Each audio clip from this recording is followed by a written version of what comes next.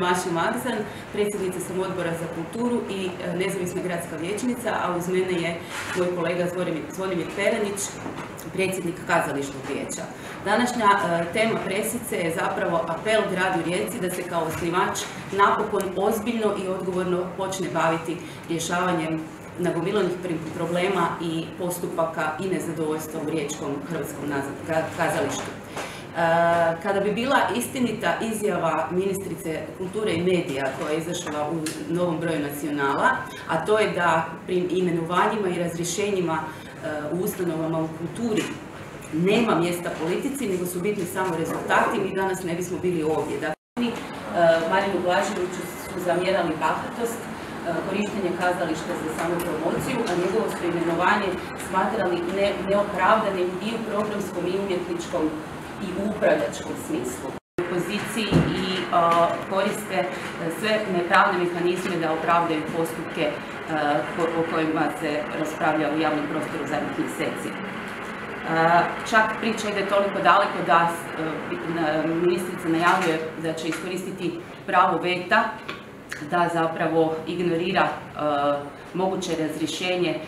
intendanta na gradskom vijeću ispričati jednu konkretnu priču, recentnu priču. E, nekoliko dana prije održavanja druge e,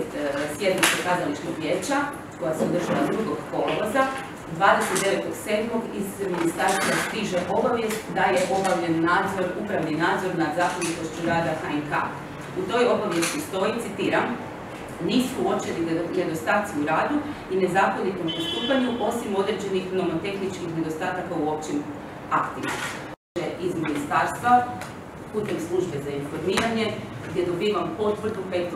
rujna da je e, obavijest kao i zapisnik, dakle materijal proslijeđen i gradu i HNK još 29.7. Minorizirati i relativizirati nagomilane probleme, postupke i nezadovoljstva,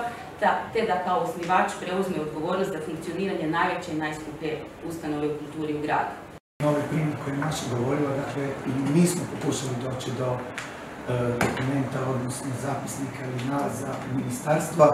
jer smo o istom saznali iz medija, dakle, meni jako zanimljivo da mi kao kazalično vijeće uopće nismo imali ideju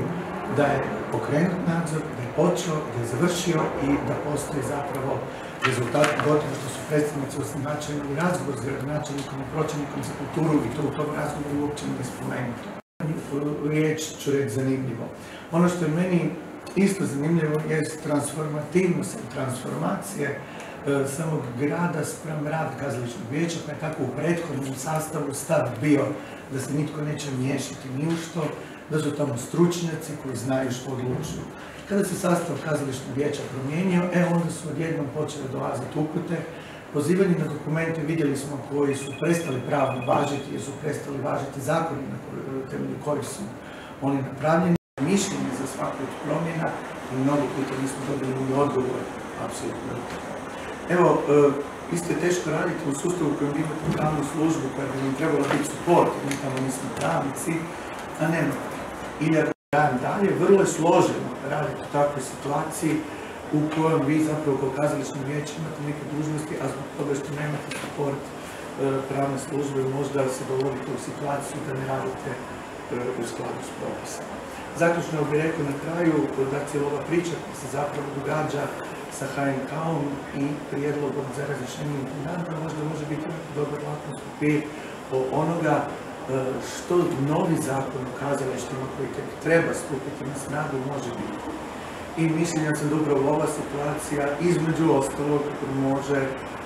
da tako kažem poslušati kako bi se zakon koji je u proceduri donio u obliku koji će unaprijediti Hrvatsko kazalište i ovih tijela na način kao što se e, tretiraju, dakle ne kao neko nužno zlo, nego kao tijela koje imaju svoju ulogu i svoju jasnu funkciju. Kada bi suradnja, komunikacija i razmjena informacija funkcionirala onako kako bi trebalo, onda se nagomilani e, problemi i nezadovoljstvo ne bi prelijevali na ulicu kao što je sada potencijalna opasnost.